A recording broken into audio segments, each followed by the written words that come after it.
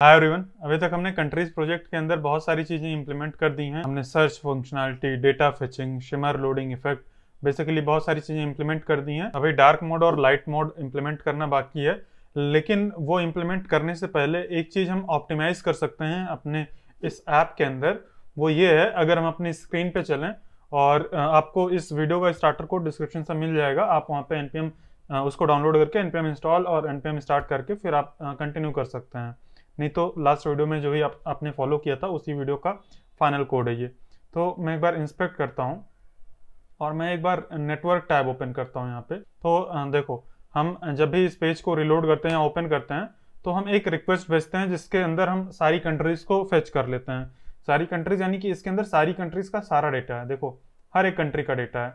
लेकिन जब हम किसी इंडिविजुअल कंट्री के ऊपर जाते हैं जैसे कि हम इसी कंट्री के ऊपर जाएँ तो इस कंट्री पे जाने के बाद हम फिर से इस कंट्री का डेटा फेच कर रहे हैं, जो कि ऑलरेडी हमने फेच कर रखा था। जब हमने होम पेज ओपन किया था, तब ये डेटा फेच किया था। एक बार मैं थोड़ा सा कोई बड़ा फ़ोन ओपन कर लेता हूँ आईफोन एक साथ और इसको थोड़ा सा जूम कर देता हूँ। ठीक है? तो यहाँ पे क्या हो रहा है अभी कि हम जब दोबारा से किसी भी कंट्री के ऊपर जा रहे हैं, जैसे कि मैं एक बार इसको क्लियर कर देता हूँ, और मैं फ्रांस पे जाता हूँ तो फ्रांस का डेटा मैं फिर से फेच कर रहा हूँ। एक तो ये बॉर्डर्स का डेटा हो गया, उसके सारे बॉर्डर्स बॉर्डर कंट्रीज़ जो हैं, उसका डेटा हो गया। फ़र्स्ट वाली जो हमने कंट्री खोली थी, उसके कोई बॉर्डर्स नहीं है। तो इसीलिए उसका कोई डेटा नहीं था। लेकिन हम इस वाले डेटा को दोबारा से फेच कर रहे हैं। इसको हम अवॉइड कर सकते हैं। रिएक्ट के अंदर हम एक स्टेट पास कर सकते हैं। एक पेज से दूसरे पेज पे हम जाते हैं तो वहाँ पे हम एक स्टेट पास कर सकते हैं, एक डेटा पास कर सकते हैं इस पेज पर हम जब जाएँगे तो जो हमारे पिछले पेज का डेटा था वो नए पेज पे हमें दिख जाएगा। तो वो चीज़ हम कैसे कर सकते हैं? जैसे कि हम अभी फ्रांस वाली कंट्री पे हम जब आ रहे हैं इस वाले पेज पे तो हम हमारे पास जब हम यहाँ पे थे, पिछले वाले पेज पे तो इधर डेटा था, इधर फ्रांस का डेटा पूरा का पूरा डेटा है। अब हम जब नेक्स्ट पेज पे जाएँगे, जो कि फ्रांस का पेज रहेगा तो हम इसका डेटा जो ये वाला डेटा था, ये हम फेच कर लेंगे। मतलब हम फेच नहीं करेंगे। अभी तो हम क्या कर रहे हैं? अभी हम रिक्वेस्ट मार के नेटवर्क रिक्वेस्ट वहाँ से फेच करते हैं। इसको हम डेटा को ही पूरा हम ऐसे पास कर सकते हैं। पूरे के पूरे डेटा को। तो चलो देखते हैं एक पेज से दूसरे पेज पर डेटा को कैसे पास करते हैं। तो अभी मैं इसको मोबाइल से थोड़ा सा टैबलेट व्यू कर देता हूँ। या ऐसा कुछ व्यू कर देते हैं। टैबलेट व्यू, जिसमें तीन कार्ड्स साइड बाय साइड दिखेंगे। और अभी ये network tabs network tab open है। मैं कॉन्सोल वाले टैब में चला जाता हूँ। और यहाँ पे अभी मैं अगर रिलोड करूँ तो ये पूरा डेटा फेच होके आ रहा है।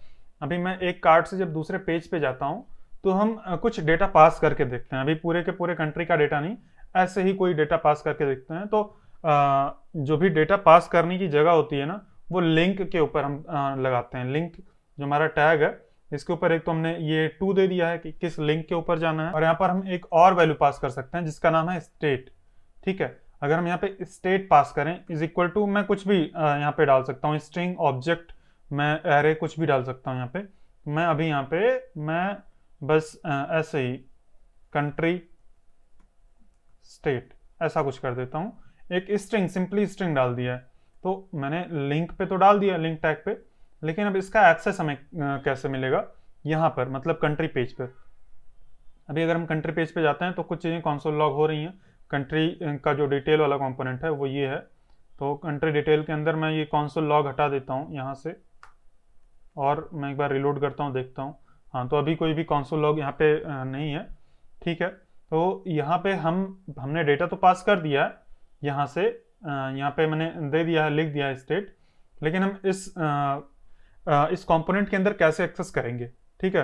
देखो, जब हम लिंक पर कुछ भी करके पास करते हैं, ठीक है तो जिस पेज पर जाता है तो अभी ये किस पेज पे आ गया एक कंट्री के पेज पे। उस पेज के ऊपर हम इस डेटा को एक्सेस कर सकते हैं और वो एक्सेस करने के लिए हमें रिएक्ट राउटर एक हुक प्रोवाइड करता है, जिसका नाम है यूज़ लोकेशन तो हम अगर यहाँ पे लोकेशन ये करें और यूज़ लोकेशन यहाँ पे लिखें तो ये देखो ऑटोमेटिक इसने इंपोर्ट कर दिया। मैं कंट्रोल जेड करूँगा तो ये इंपोर्टेड नहीं है अभी। अगर कंट्रोल स्पेस करके इस पर मैं क्लिक करता हूँ तो यहाँ पे इंपोर्ट हो गया है। ये रिएक्ट राउटर जो है, ये हमें यूज़ लोकेशन हुक प्रोवाइड करता है। एक फ़ंक्शन है ये, इसको हम सिंपली कॉल कर देंगे। और अगर हम लोकेशन को कॉन्सोल लॉक करें इधर ही तो यहाँ पे बहुत सारी चीज़ें हैं। पाथ नेम है हैश है की है और एक चीज़ है स्टेट ये देखो स्टेट करके है। तो यानी कि हम अगर लोकेशन डॉट स्टेट करेंगे तो ये जो डेटा हमने वहाँ से पास किया था हम इधर एक्सेस कर सकेंगे। अभी मैं चाहूँ तो इस तरह से एक्सेस कर सकूँ मतलब आ, कर सकता हूँ और चाहूँ तो इसको डिस्ट्रक्चर कर लूँ यहीं पे लिख दूँ स्टेट और मैं इसको स्टेट कर सकता हूँ यहाँ पे। ये। तो इस तरह से हम स्टेट को एक्सेस कर सकते हैं अब। तो अभी हम अगर किसी भी कंट्री के ऊपर जाएँगे तो ये हर एक कंट्री के लिए सेम रहेगा क्योंकि हर एक कंट्री कार्ड से हम सेम चीज़ कंट्री स्टेट ऐसे ही पास कर रहे हैं। लेकिन हम इसको चाहें तो अलग अलग चीज़ें पास कर सकते हैं। तो आ, क्या पास कर सकते हैं? जैसे कि हम यहाँ पे एक ऑब्जेक्ट पास कर सकते हैं। तो ऑब्जेक्ट पास करने के लिए पहले तो हमें एक करली ब्रैकेट लगाना होगा ताकि हम जावा स्क्रिप्ट लिख सकें यहाँ पे और फिर उसके अंदर फिर हम ऑब्जेक्ट पास करेंगे। ठीक है? ये तो जेएसएक्स का सिंटैक्स है। जेएसएक्स के अंदर अगर हमें जावा स्क्रिप्ट लिखना है तो पहले तो करली ब्रैकेट लगाना पड़ेगा। तो ये इसका यूज़ करके हमने पहले तो बता दिया कि हम जावा स्क्रिप्ट लिखने जा रहे हैं और फिर उसके अंदर हम एक ऑब्जेक्ट पास कर सकते हैं। हम यहाँ पे ये सारा डिटेल ऐसे पास कर सकते हैं। तो इसको मैं कॉपी करके यहाँ पे डाल देता हूँ। तो अभी अगर हम यहाँ पे पीछे जाएँ मैं एक बार पीछे चला जाता हूँ और मैं किसी भी कंट्री पे जाता हूँ तो देखो इस कंट्री की पूरी डिटेल यहाँ पे आ रही है। ये इस कंट्री की डिटेल है और यहाँ पे जाएँगे तो ये देखो दूसरी कंट्री की डिटेल है। तो इस तरह से हर एक कंट्री की डिटेल हम पास कर सकते हैं और ये हम पास कर रहे हैं जो हमारे होम पेज पे ऑलरेडी इंफॉर्मेशन अवेलेबल है। लेकिन यहाँ पे अगर हम देखें तो हम आ, कितनी चीज़ें पास कर रहे हैं बेसिकली जैसे इस कंट्री पे जाते हैं अगर तो हम क्या क्या पास कर रहे हैं यहाँ से? ये देखो कैपिटल है फ्लैग है नेम है पॉपुलेशन है और रीजन है। ये पाँच चीज़ें ही पास कर रहे हैं। लेकिन हम यहाँ पे बहुत सारी चीज़ें दिखा रहे हैं और भी ज़्यादा चीज़ें हैं। तो आ, हम कंट्री कार्ड के अंदर बेसिकली पाँच चीज़ें ही पास करवा रहे हैं तो वही चीज़ें हम डाल सकते हैं। यानी कि आ, हम आ, जो डिटेल्स पास कर रहे हैं वो सफिशियंट नहीं है। ये पूरे पेज को रेंडर करने के लिए सफिशियंट नहीं है। लेकिन जो इन्फॉर्मेशन यहाँ पे कंट्री लिस्ट के अंदर है यहीं से हम पाँच चीज़ें पास कर रहे हैं। अगर हम चाहें तो पूरी की पूरी डिटेल पास कर सकते हैं। तो मैं क्या करता हूँ, ये पाँच चीज़ें आने देते हैं ऐसे ही।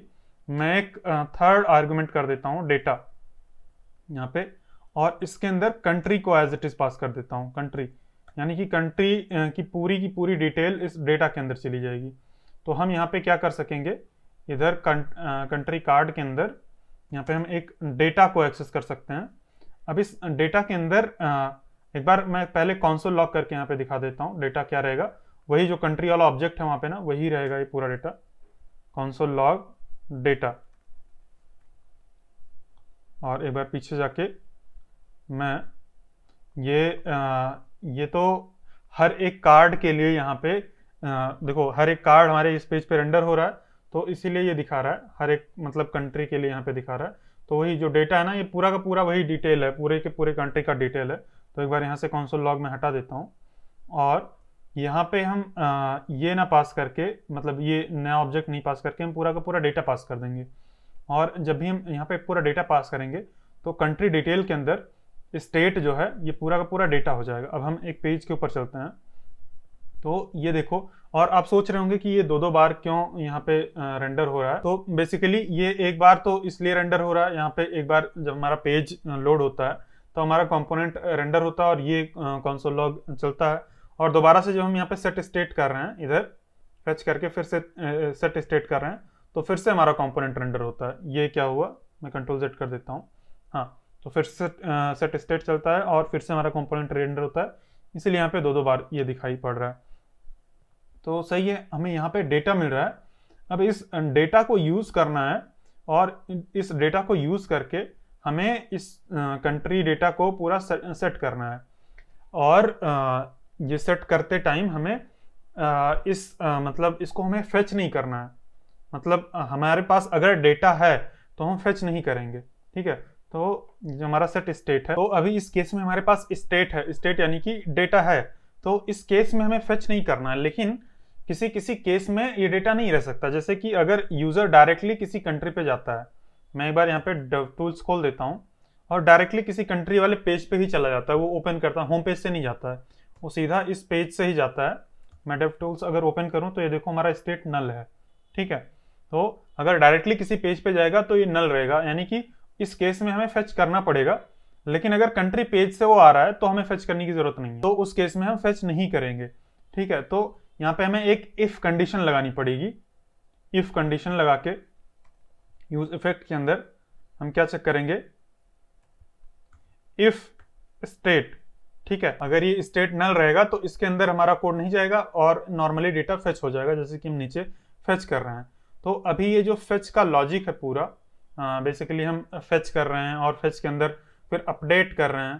तो ये जो अपडेट का लॉजिक है ये अपडेट का लॉजिक अपडेट करने के बाद फिर हम बॉर्डर्स वाले डेटा को ही फेच कर रहे हैं, फिर उसको भी अपडेट कर रहे हैं।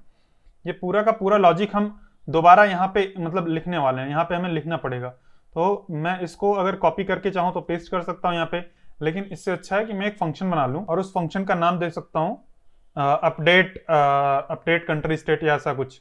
ठीक है? मैं फ़ंक्शन का नाम दे देता हूँ। अपडेट कंट्री डेटा ऐसा दे देता हूँ। और इसके अंदर हम एक डेटा मतलब हम एक्सपेक्ट करेंगे कि यहाँ पे कोई डेटा पास करेगा जब भी इसको यूज़ करेगा तो। और इसके अंदर मैंने पूरा का पूरा कोड कॉपी पेस्ट कर दिया है। तो यहाँ पे जब भी हम डेटा पास करेंगे तो यहाँ से डेटा को सेट कर दिया जाएगा और फिर उसकी बॉर्डर कंट्रीज़ को भी आ, मतलब आ, सेट कर दिया जाएगा। तो जो पूरा का पूरा कोड वहाँ लिखा था ये आ, कोड मैंने कॉपी करके वहाँ पे लिख दिया है। तो वो इस चीज़ को मैं इसको रिमूव कर देता हूँ यहाँ से। ठीक है? और मैं यहाँ पे ये वाला फ़ंक्शन करके यहाँ पे डेटा पास कर देता हूँ। तो अभी मैंने इस स्टेट को यूज़ नहीं किया। अभी तो मैं फेच ही कर रहा हूँ। ठीक है? तो अभी ये काम करेगा और कोई दिक्कत नहीं है। सही चल रहा है और नेटवर्क से ये फेच करेगा यहाँ पे, अगर हम देखें। तो ये देखो, मैं यहाँ से अगर जाऊँगा तो ये फेच कर रहा है, इस कंट्री का डेटा तो ठीक है, अभी फेच कर रहा है। अभी हम यहाँ पे वही यूज़ करेंगे कि अगर स्टेट है तो क्या करो? तो अपडेट कर दो कंट्री डेटा और यहाँ पे हमें डेटा जो है, उसको स्टेट पास करना है। मतलब स्टेट जो है, वो यहाँ पे अभी डेटा है। तो इसके अंदर जाएगा और फिर वो अपडेट हो जाएगा ऑटोमेटिक और ये करके फिर रिटर्न हो जाओ। ठीक है? रिटर्न यहीं से अर्ली रिटर्न कर देंगे। अब यहाँ पे जाके फेच नहीं करना है। हमने यहाँ पे अपडेट कर दिया डेटा को और हम रिटर्न हो गए। ठीक है? तो अभी देखना क्या होगा। अगर हम किसी भी पेज से जो हमारा होम पेज है, उससे अगर हम किसी भी कंट्री पे जाते हैं, जैसे कि इस कंट्री पे गए तो अभी देखो कोई एरर दे रहा है। तो ये एरर बेसिकली इसलिए आ रही है क्योंकि यहाँ पे अगर हम थोड़ा ध्यान से देखें कि ये एरर क्यों आ रही है तो यहाँ पे जो अपडेट रिएक्ट जिस तरह से अपडेट करता है, उसके कारण से ये एरर आ रही है। एक्चुअल में ऐसा होना नहीं चाहिए आइडियली लेकिन मैं आपको दिखाता हूँ, एक बार मैं यहाँ पे कंट्री डेटा को कॉन्सोल लॉक करके दिखाता हूँ। और भी जो कॉन्सोल लॉग्स हैं, उसको हटा देते हैं यहाँ पे। मैं एक बार, जो दूसरे कॉन्सोल लॉग हैं, ये तो एरर है, और ये स्टेट है। इसको मैं हटा के, मैं यहाँ पे कंट्री डेटा को कॉन्सोल लॉक करता हूँ। इसको मैं हटा देता हूँ। और इधर मैं कंट्री डेटा को कंट्री डेटा को कॉन्सोल लॉक करता हूँ। तो अभी आप देखना क्या होगा। अभी मैं रिलोड इस टाइम पे कर रहा हूँ तो ये एरर नहीं दे रहा है ठीक है? लेकिन अगर मैं पीछे जाके किसी भी कंट्री के ऊपर जाके और मतलब पूरे कंट्री के होम पेज पे जाके अगर मैं इधर आता हूँ तो ये एरर दे रहा है। और बेसिकली एरर इसलिए आ रही है कि पहले हमारी कंट्री नल रहती है ठीक है? जब नल रहती है तो हम आ, क्या करते हैं?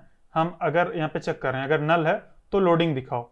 ठीक है, लेकिन अगर नल नहीं है, अगर कोई ऑब्जेक्ट है या कुछ भी है तो ये पूरा का पूरा कंपोनेंट दिखाओ। ये मतलब नीचे जो जैसे हम रिटर्न कर रहे हैं, वो चीज़ दिखाना है।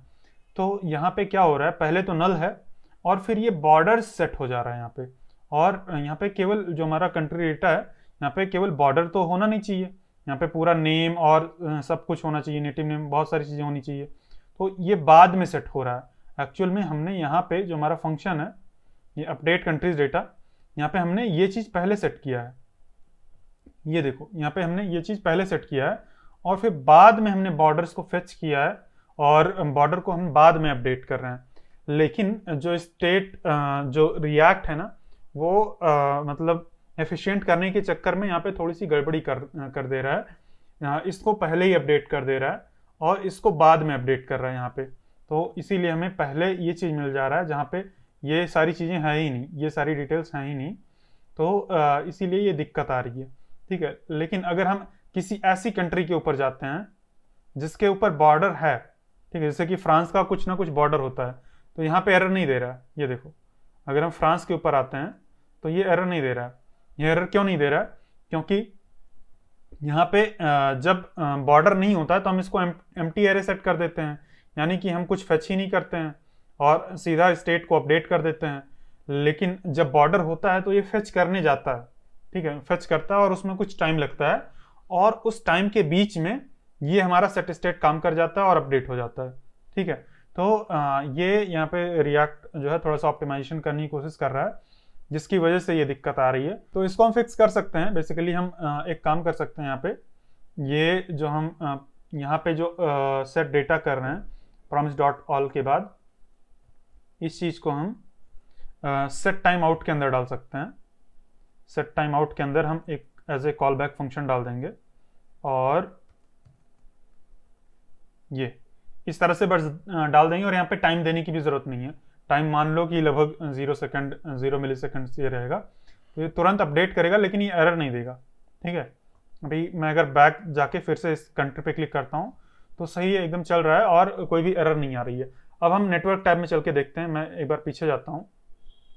तो आ, मैं एकदम होम पेज पे आ गया हूँ। अब अगर मैं किसी भी कंट्री पे जाऊँ जैसे कि मैं इस कंट्री पे जाता हूँ तो ये देखो कोई भी नेट, नेटवर्क रिक्वेस्ट नहीं गई है। यानी कि डेटा हमारे पास ऑलरेडी था हमने फेच कर लिया है और रिक्वेस्ट नेटवर्क रिक्वेस्ट नहीं गई है और एकदम सही से चल रहा है। लेकिन अगर मैं इसी को एक न्यू टैब में ओपन करूँ मान लो यूज़र होम पेज पे नहीं जाता है सीधा इसी पेज पे आ जाता है और वो ये यहाँ पे खोल के ये अगर एंटर करता है तो यहाँ पे देखो रिक्वेस्ट जा रही है, ठीक है? तो एकदम सही से काम कर रहा है, एकदम अच्छे से काम कर रहा है ये हमारा। हमने जो डेटा ऑलरेडी फेच किया था, उसको हमने रीयूज किया है। तो इस तरह से हम एक पेज से दूसरे पेज पर डेटा को पास कर सकते हैं, और ये काफ़ी यूजफुल होता है। कई बार हमें ज़रूरत पड़ती है कि हमारे पास जो एक पेज पर डेटा है, उसको हम दूसरे पेज पे कैसे पास करें? और ये जब हम बैक करके पीछे आते हैं तो ये ऑल यहाँ पे दिखता है बार बार ये कॉल हो रहा है। जैसे कि हम पीछे जाके ये फिर से आते हैं। तो ये ऑल यहाँ पे दिख रहा है बार बार कॉल हो रहा है। और ये इसीलिए हो रहा है क्योंकि हमारा पूरा कंपोनेंट रीरेंडर हो रहा है, इसीलिए हो रहा है। इसको अगर आप चाहें तो आप इसको भी ऑप्टिमाइज कर सकते हैं लोकल स्टोरेज में स्टोर करके। आप इसको भी ऑप्टिमाइज कर सकते हैं, लेकिन ठीक है, कोई बात नहीं है, चल रहा है। तो इस तरह से हम एक पेज से दूसरे पेज पर डेटा पास कर सकते हैं। और ये भी कोई रिएक्ट एकदम नया चीज़ लेके नहीं आया है। ये भी एक हिस्ट्री एपीआई जो हम यूज़ करते हैं। जो एक हिस्ट्री एपीआई होती है जो हमने जिसका यूज़ करके हमने देखा था कि हम कैसे एक पेज से दूसरे पेज पर बिना पेज रिलोड किए जा सकते हैं। तो जो हमारी हिस्ट्री एपीआई है ना उसी का यूज़ करके रिएक्ट राउटर जो है बिहाइंड द सीन्स डेटा को एक पेज से दूसरे पेज पे ले जाता है। अगर हम यहाँ पे लिखें हिस्ट्री डॉट पुश स्टेट तो uh, एक सेकेंड ये सजेशन आज आजकल सही से काम नहीं कर रहा है। डॉट पुश स्टेट करते हैं और यहाँ पे हम डेटा पास कर सकते हैं बेसिकली डेटा अब ये जो डेटा है हमने जब स्टार्टिंग में देखा था पिछले वीडियोज़ में तो वहाँ पे हमने डेटा को एक एम ऑब्जेक्ट या नल ऐसा करके पास कर दिया था। यही जो डेटा है, यही एक्चुअल में स्टेट होता है। इसको अगर मैं एक ऑब्जेक्ट करूँ, मैं यहाँ पे लिख देता हूँ नेम और नेम प्रोकोडर में कर देता हूँ। और नेम हो गया एक ऑब्जेक्ट और फिर उसके बाद हम एक एम स्ट्रिंग पास कर सकते हैं। और फिर उसके बाद हम क्या करेंगे यहाँ पे? एक किसी पेज पे जाते हैं जो कि एग्जिस्ट नहीं करता, जैसे कि मैं यहाँ पे हाई कर देता हूँ। इसको टाइप करके अगर मैं एंटर प्रेस करता हूँ तो देखो, हम हाई पेज पे चले गए हैं। अब ये हाई नाम से कोई कंट्री तो एग्जिस्ट करती नहीं है, ठीक है? तो अभी यहाँ पे हमारे राउटर को पता भी नहीं चला, इसीलिए हमारा होम पेज ही यहाँ पे दिख रहा है। अगर हम रिलोड करेंगे तो बोलेगा कि country country does not exist लेकिन यहाँ पे अगर हम लोकेशन डॉट स्टेट को अगर एक्सेस करें स्टेट लोकेशन या हिस्ट्री डॉट स्टेट होता है शायद। हिस्ट्री डॉट स्टेट ये देखो हिस्ट्री डॉट स्टेट तो ये पूरा का पूरा ऑब्जेक्ट हमें यहाँ पे इस पेज पे मिल गया है। ठीक है? तो रिएक्ट राउटर डॉम जो है, वो भी बिहाइंड द सीन्स यही चीज़ यूज़ करता है। वो कोई नया चीज़ एकदम से लेके आया नहीं है। अगर मैं इसको रिलोड करूँ तो बोलेगा ये कंट्री नॉट फाउंड और यहाँ पे अगर हम हिस्ट्री डॉट स्टेट देखें तो ये हिस्ट्री डॉट स्टेट यहाँ पे अभी भी है। और ये इंडेक्स करके कुछ आ गया है बिहाइंड द सीन्स जो हिस्ट्री एपीआई है, ये खुद से कुछ ऐड कर रही है यहाँ पे। तो अगर हम किसी भी कंट्री पे जा रहे हैं, जैसे कि इस कंट्री पे, और यहाँ पे अगर हम हिस्ट्री डॉट स्टेट देखें तो ये देखो, ये जो डेटा है, ये देखो, ये यूज़र करके बिहाइंड द सीन्स ये रियाक्ट राउटर डॉम ने यहाँ पे रखा है डेटा को, ठीक है? तो ये हिस्ट्री एपीआई का ही यूज़ कर रहा है बिहाइंड द सीन्स और इसी का यूज़ करके डेटा को हम पास करते हैं। तो ये रिएक्ट राउटर डॉम है जो कि हमें थोड़ा इजीली प्रोवाइड कर देता है फंक्शनलिटी कि हम स्टेट को पास कर सकें एक पेज से दूसरे पेज पे। बेसिकली हम लिंक टैग के ऊपर स्टेट करके और जो भी डेटा पास करना है वो पास कर देते हैं। और जहाँ पे हमें यूज़ करना है, जिस पेज पर भी, वहाँ पे हम यूज़ लोकेशन करके और वहाँ से स्टेट को एक्सेस कर सकते हैं। तो मैं उम्मीद करता हूँ आपको ये वीडियो अच्छी लगी होगी, आपको ये कॉन्सेप्ट अच्छे समझ में आ गया होगा। और अगर आपका कोई भी डाउट है इस पर्टिकुलर टॉपिक से रिलेटेड या किसी और भी टॉपिक से रिलेटेड तो आप कमेंट में अपने डाउट्स पूछ सकते हैं और आप चाहें तो आप टेलीग्राम ग्रुप ज्वाइन कर सकते हैं। डिस्क्रिप्शन में आपको उसका लिंक मिल जाएगा। और वहाँ पे भी अपने डाउट्स पूछ सकते हैं। अगर कुछ नया आप क्रिएट करते हैं तो उसको भी शेयर कर सकते हैं। तो मिलते हैं नेक्स्ट वीडियो में। तब तक के लिए बाय बाय